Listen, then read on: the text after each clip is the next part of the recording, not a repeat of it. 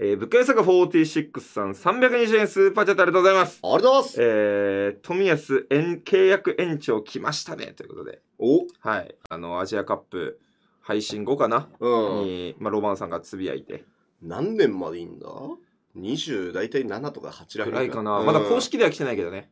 プレミアに所属した、うん。あの、日本人はいるけど、プレミアリーグのクラブで延長契約延長した日本人ってマジでいないんじゃないかっていう。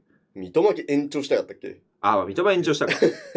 まあ、三笘はタイミングがな。そうそう。多分ビッグシックスのいる日本人多分初めての契約延長だよね。それかマヤとかやってるあ、そうか、マヤ、三笘。うん。でも、ビッグシックス、ビッグシックスにいた日本人そんな別に多いわけじゃないけど、うーん。ビッグシックスってなってくるともう、うん。冨安三笘ぐらいで。まあ、三笘はビッグシックスではないんですけれうども、ん。ほんまや。ほんまや。ナチュラルに入ってましたけどね。それがすごいよね。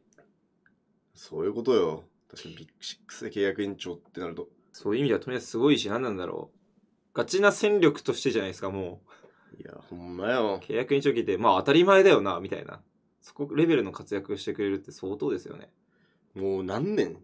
三？今何年目だっけ？2021 ?21 年？22、22、3年目か、これ。?3 年目がもう。そはあ。3年、もう新卒感。